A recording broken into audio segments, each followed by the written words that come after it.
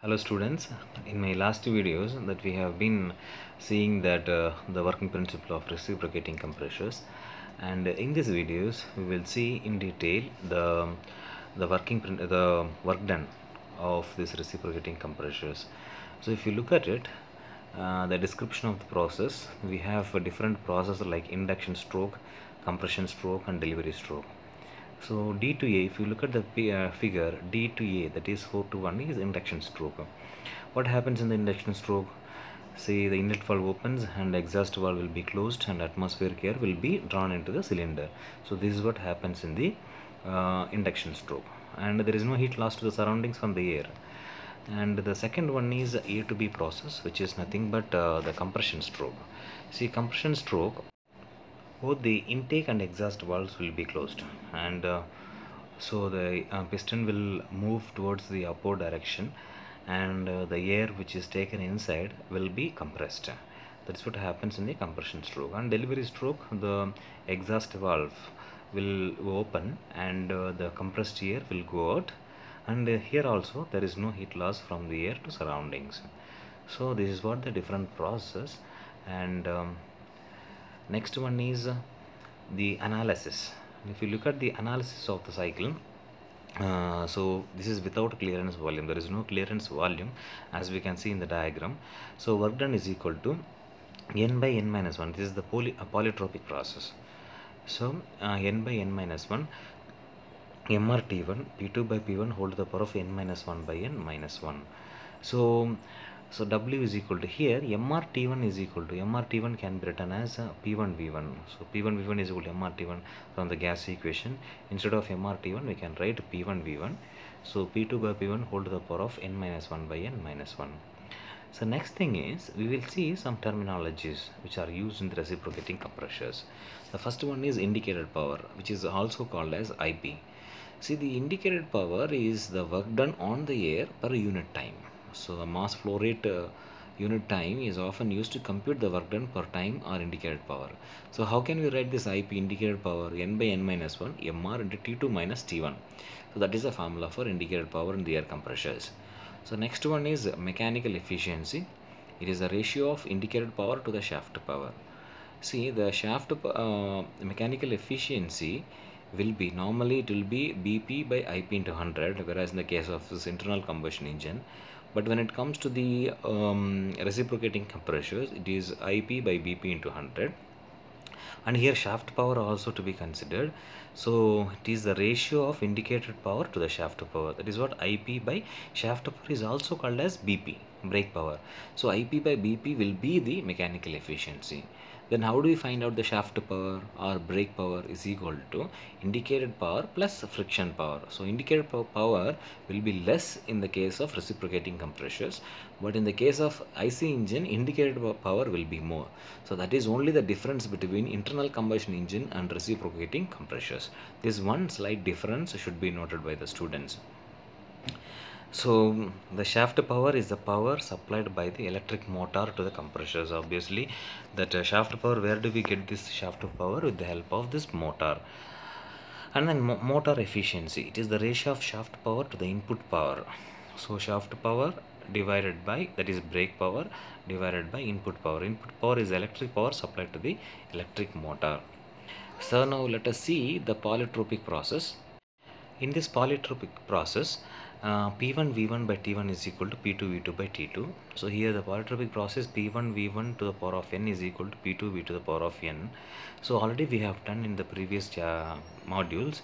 The same thing can be written in terms of volume and pressures, in terms of temperatures and pressures, in terms of temperatures and volumes. The equation can be written as it is shown in the screen. So V1 by V2 is equal to P2 by P1 whole to the power of 1 divided by n. So that can be written as T2 by T1 is equal to P2 by P1 whole to the power of n minus 1 divided by n. Or T2 by T1 is equal to V2 by V1 whole to the power of n minus 1.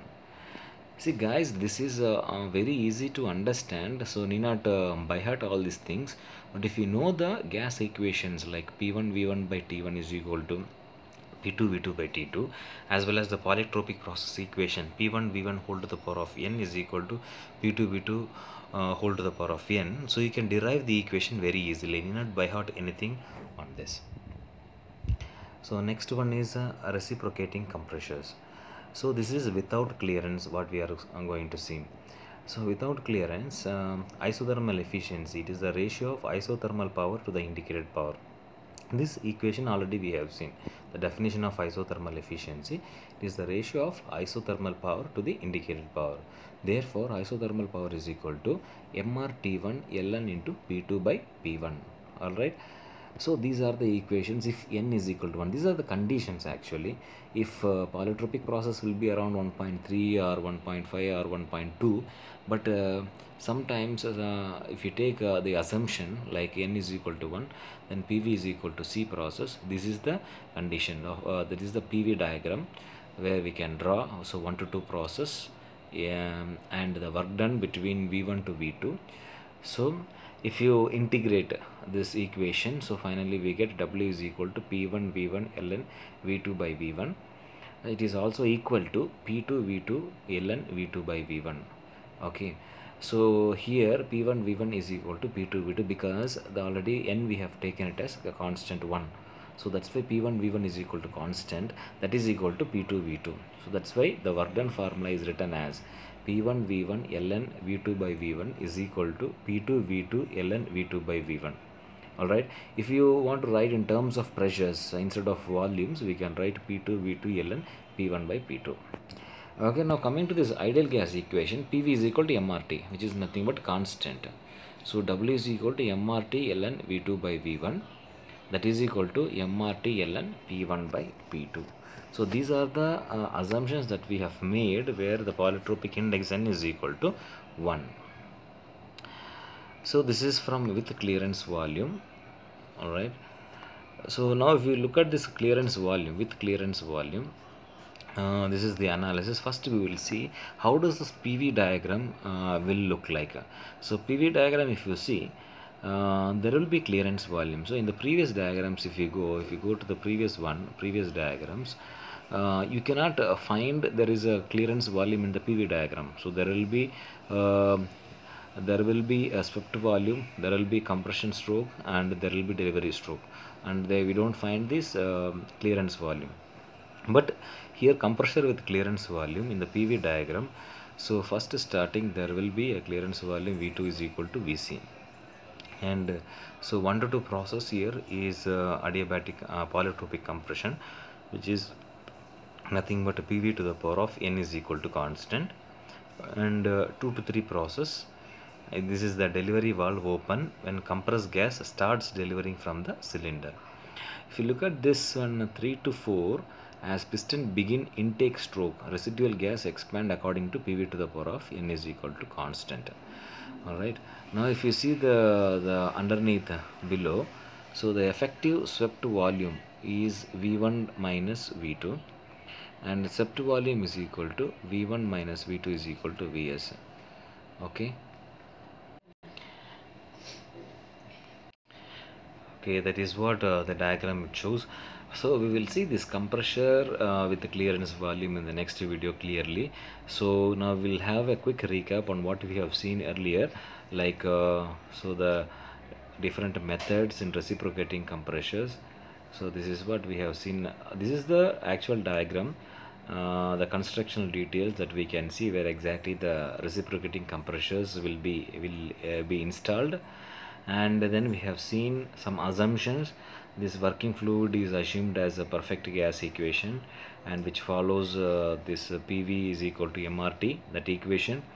And uh, then we have uh, moved on to compressor. So these are the different types that we can see in the reciprocating compressors like uh, compressor without clearance volume then compressor with clearance volume then multi-stage compressors so first we are concentrating on compressor without clearance volume and the corresponding PV diagrams like pressure volume diagrams that we have seen and what are the different processes that we can draw on PV diagram. So adiabatic process, isothermal process and polytropic process. Isothermal is PV is equal to constant adiabatic is pv to the power of gamma is equal to constant and polytropic is pv to the power of n is equal to constant for adiabatic index of air gamma is equal to 1.4 that is a constant value we can substitute. But for polytropic process n will uh, vary from uh, one what you call uh, system to another system. All right and then compressor without clearance volume we have started. And um, so these are the descriptions like what are the different process without clearance volume. And this is the work done formula that we have seen in this without clearance. And uh, finally uh, we have seen some mechanical efficiency motor efficiency indicated power the terminologies. All right? And compressor without volume that final equation. So in my next video so i'm going to teach the compressor with clearance volume. Thank you